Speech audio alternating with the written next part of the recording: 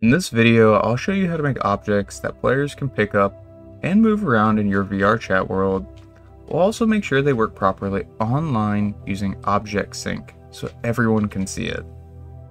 So we are just leaving off exactly where we were last time with our chairs and mirror.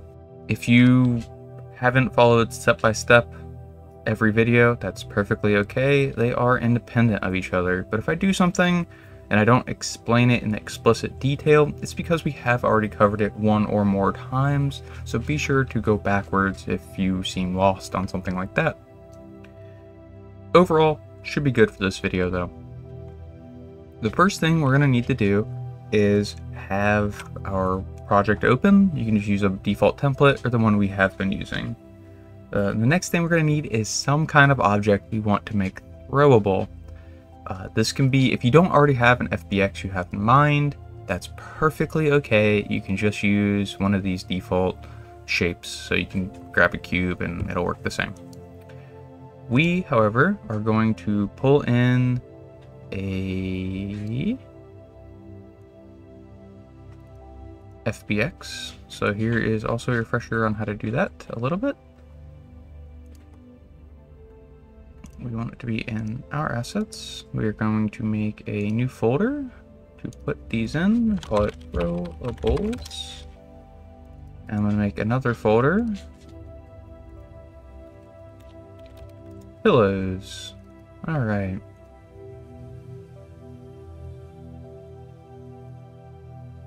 We have our pillow. We're going to pull in just a couple of these because we're not going to use everything. We're just going to pull in the normal map and the base texture. Now, it didn't auto flag this as a normal map, so we are just going to change it to a normal map. Okay, now we have our pillow. Let's go to it. Let's add in Create a material for it as it does not want to auto pull in our textures. So we're going to call this full cushion material. I think I had a typo in there, but that's okay. We put our normal color as albedo and our normal map as our normal map. And we throw it on our pillow.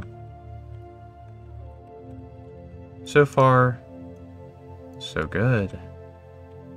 The next thing we need to do is to make the object grabbable or pickupable. So we need to add component and we need to type in pickup.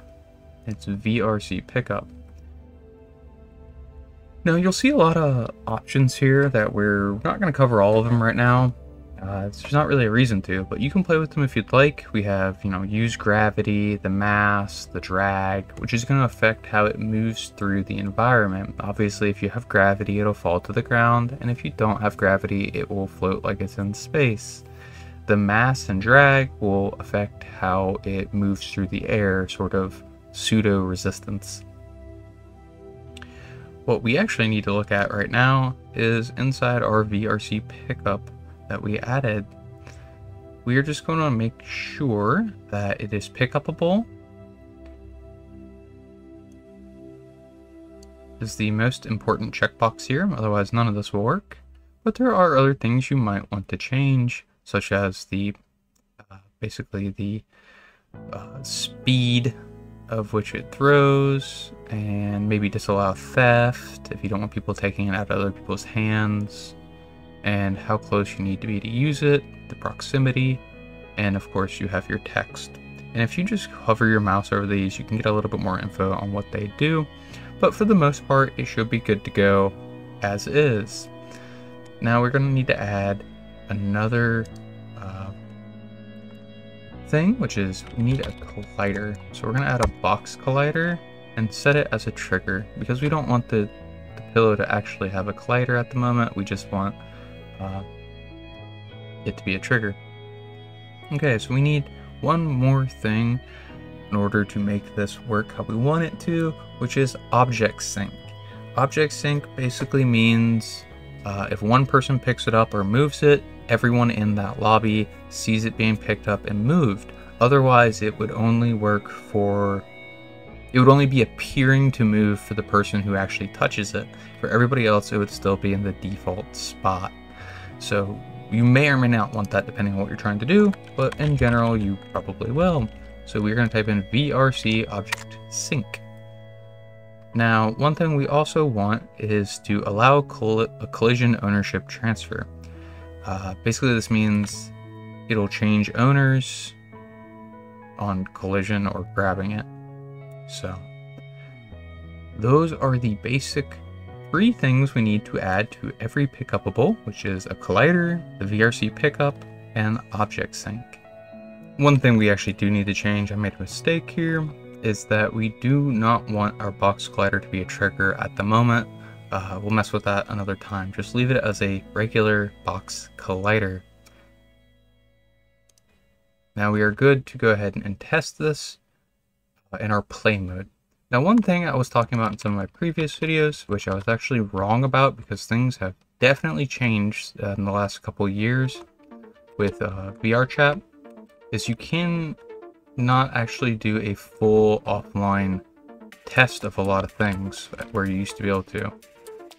So I'll show you how we get around that. But as you can see, we can actually pick it up and kind of throw it. I know it's hard to throw things in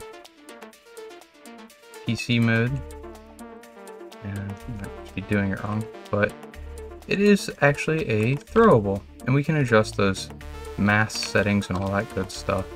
And if we actually take it over to the edge of the map and throw it off, it should respawn as well. So let's just chuck it into the void.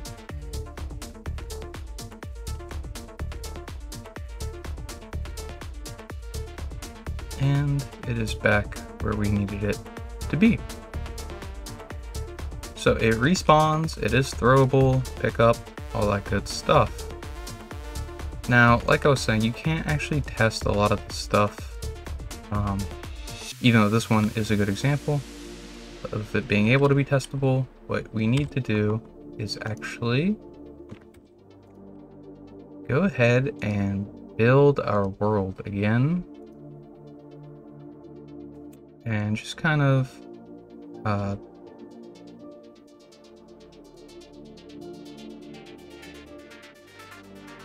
build it, and then we can actually test it in VRChat. That's the only way to get full testing, especially with custom avatars and some more complicated features we're going to get into, is we have to fully build, and you can see here, I don't have good internet, and this didn't take long, so it shouldn't be much of an issue. But once we upload our changes, which is what we're doing right here, we can launch VRChat like you normally would.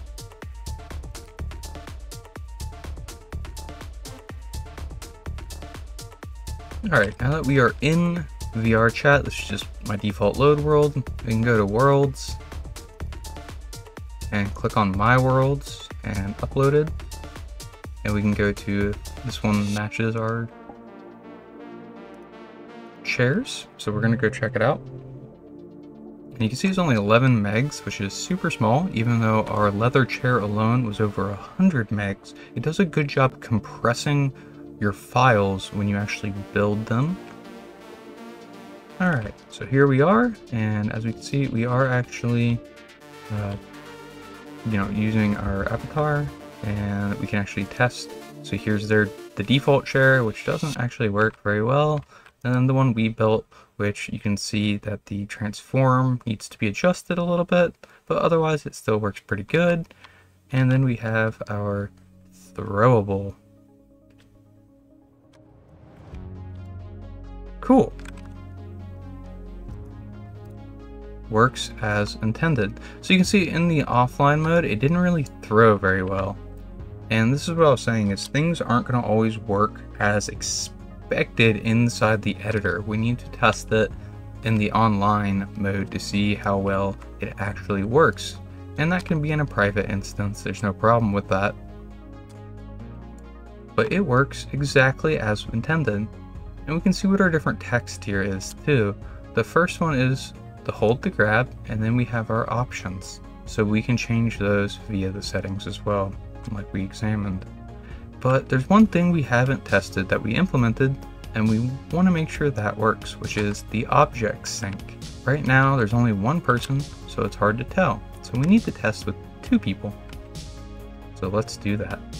In order to do that, we have to go back to our editor. And when we actually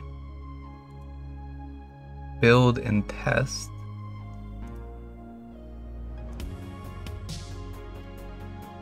we were going to want two clients instead of one. This will simulate having two connected players inside our offline mode. And again, this doesn't doesn't seem to work as good as it used to, but it'll work for this.